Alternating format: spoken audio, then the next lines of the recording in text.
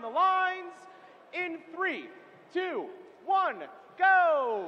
Match 12 is off. Blue Alliance starting strong. Two game pieces up top, one in the mid over on red. They're leading. Four game pieces now up top. 1690 Orbit just tossing one in to the upper node. Over on blue, a bit of an issue. It looks like 2481's engagement on the charge station was messed up by a cyber cav moving across the bridge. 43 to 57. The advantage is to the Red Alliance. We've got two minutes remaining in this match.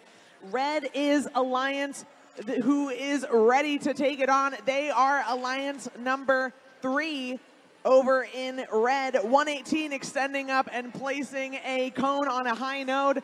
They're helping to lead their team by grabbing game pieces from the human player substation, heading over and scoring them while their partners Mars Wars are doing the same. 1690, though, is doing something a little different than their partners. Orbit from Israel, they're headed over to the substation. They grab a game piece with their floor intake, and then they shoot it over into the red area's protected community zone. That will allow their partners to be able to more easily pick and place, and sometimes Orbit even gets it into the low node. We've got a minute and 10 seconds remaining. 1706 is doing the same thing Orbit is, using their low floor intake and shooting over cubes into the community. One minute remaining. Blue is down by nearly 50 points. They need to score more game pieces in order to stay alive. Thankfully for them, 1706's quick work to bring a bunch of cubes over to their community zone will make it easy for the Blue Alliance to quickly rack up points. However, the bad news is that the Red Alliance only needs two more nodes filled to have a full grid. 41-43 Mars Wars just scored, and so did Orbit.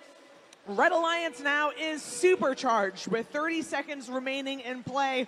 Blue Alliance not far behind them. 160 to 122 with 20 seconds remaining. Red is leading. Orbit placing another cube, making sure that those supercharged nodes are counting while Robonauts did the same. Mars Wars is headed over with one more cone and they go to balance for the Red Alliance. Three seconds remaining. Red is engaged. No balance for over on blue as time runs out.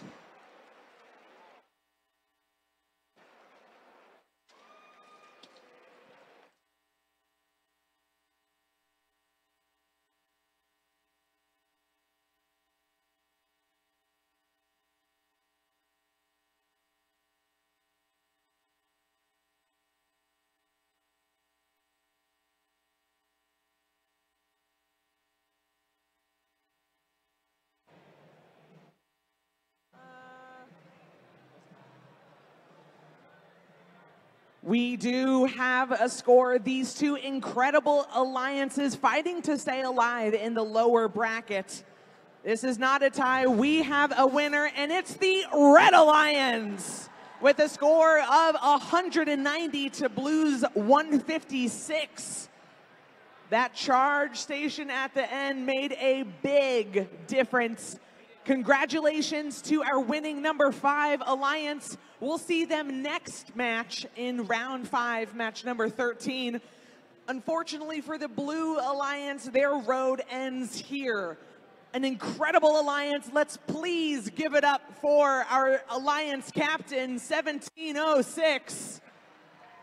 Their partners, team 2481, 4678 and 461. A great showing from this Blue Alliance. And congratulations to our winning number five Alliance going on to match 13.